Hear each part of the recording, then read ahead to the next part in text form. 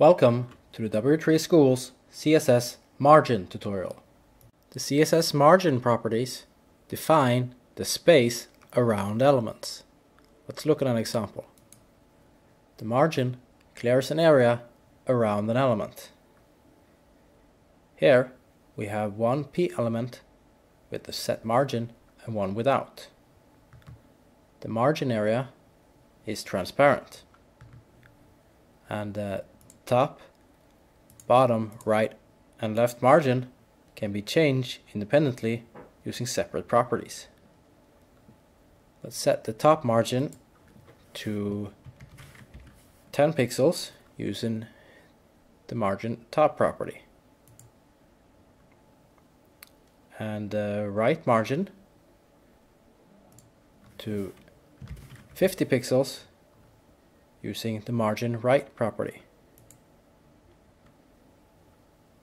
And the bottom margin using the margin bottom property to 80 pixels.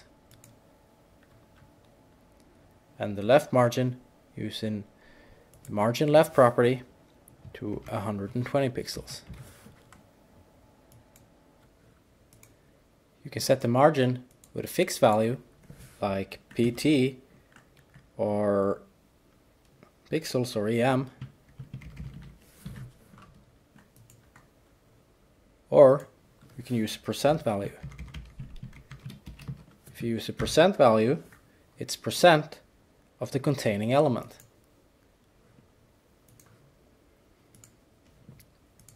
It's also possible to use negative values, but this can cause elements to overlap or move elements outside of the document. Now these two elements overlap. Let's add another paragraph without a margin so we can demonstrate margins for all sides a bit better. It's also possible to set a shorthand property to set the margin for all sides at once. The shorthand property for margin is simply margin. I'll set the margin to 50 pixels and the element has a 50 pixel margin at all sides. If we set the margin to 10 pixels space 50 pixels, the top and bottom margin is 10 pixels and the right and left margin is 50 pixels. If we set the margin to 10 pixels, 50 pixels, 80 pixels, the top margin is 10 pixels, the right margin and left margin are 50 pixels and the bottom margin is 80 pixels. If we set the margin to 10 pixels, 50 pixels, 80 pixels, 120 pixels,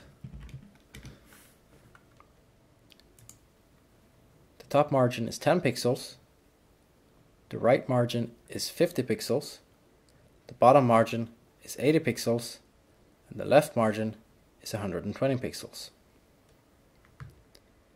So you can see that the values are set clockwise, starting at the top.